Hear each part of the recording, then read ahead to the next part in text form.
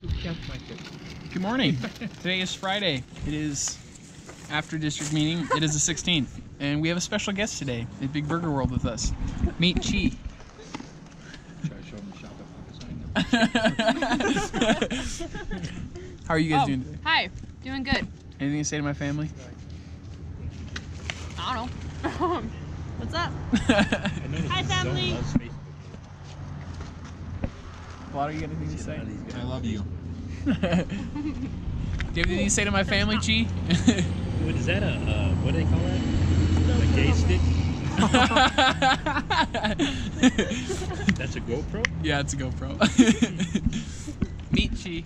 Uh, he's one of our friends from Fountain, so We love But- it. another day at Big Burger World. I got some soft serve ice cream today. It's different. I love you guys. Hope you have a wonderful week.